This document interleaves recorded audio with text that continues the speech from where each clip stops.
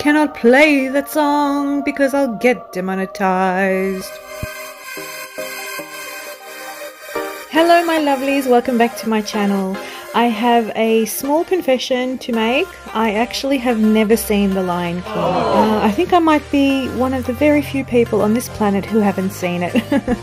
but who's going to go see the new one? I actually can't wait to see that and um, I'm really looking forward to it. So today's set was inspired by the new movie coming out and Kat loves The Lion King so we just had to do Lion King nails. So today's set is going to be Simba and I am removing Kat's old uh, design from her nails so I used a carbide bit to drill away the old shellac and thin down the acrylic which was there down to almost the bare nail and now I'm just using the sanding band and uh, my e-file to smooth over the acrylic that's left behind and then remove the shine off the natural nail as well. I also like to remove some of the cuticle that's on the nail plate using the the sanding band bit. After finishing my prep work, I'm starting with a ring finger and I'm applying some glitter to the tip uh, to do a glitter fade, but then I need to let it dry before I do the uh, cover pink part. So while that dries, I've moved on to the pinky finger and i am using this chocolate brown colour to cover the, the entire nail with it. This is a color I mixed and uh, I mixed it on this video here if you want to click on the cards to have a look at how I mix my acrylic colors. So I finished applying the brown acrylic on the pinky and now I'm back to the ring finger applying the cover pink over the glitter in an ombre style. But for some reason because um, I didn't like the way the glitter lost the shine when I ombreed the cover pink over it. I wanted to go back and add some more glitter on top of the cover pink just so it can sparkle that little bit more. This way of doing the ombre look will be more effective if the nails are really long, so the glitter on the ends actually still remains sparkly rather than being lost in the cover pink. So I had to encapsulate the, uh, the ring finger and now I am encapsulating the pinky finger as well to add some strength and structure to those nails while also sealing in the glitters which I applied on the ring finger. And when I'm done encapsulating the brown coloured acrylic I'm going to move on to the middle finger.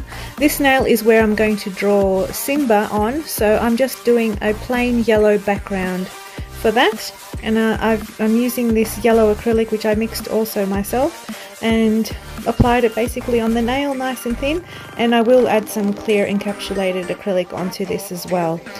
I feel also not only does it give the nail strength and structure, it also helps with filing and keeping the nail looking smooth. Because sometimes if you don't encapsulate your colours with clear and you go to file and smooth the nail surface, it seems to create some like not water marbling but some shadowing of the acrylic colour sometimes. Not all the time, only sometimes and I find using the clear on top helps this. So the pointer finger is entirely yellow as well and for the thumbnail I am doing brown so I'm applying the brown coloured acrylic on all the nail keeping it nice and thin because I also want to add some glitter to it. The same glitter which I used on the ring finger and I'm just fading it up towards the cuticle doing a glitter ombre on it.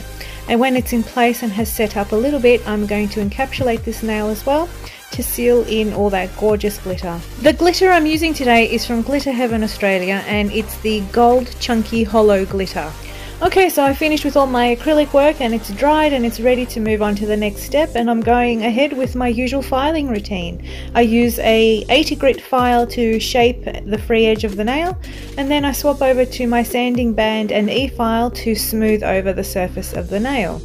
And when that's done, I'm just using a lint-free wipe dipped in some acetone and I'm wiping over the nail to get rid of any dust and to smooth over the surface of the nail as well. And then I can start sketching out little Simba.